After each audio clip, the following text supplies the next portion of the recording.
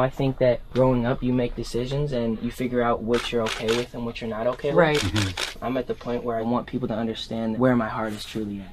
Again, let's go. All right, let's do it again. Again, again. Let's do it again. Let's do it again. No, I want to do this again.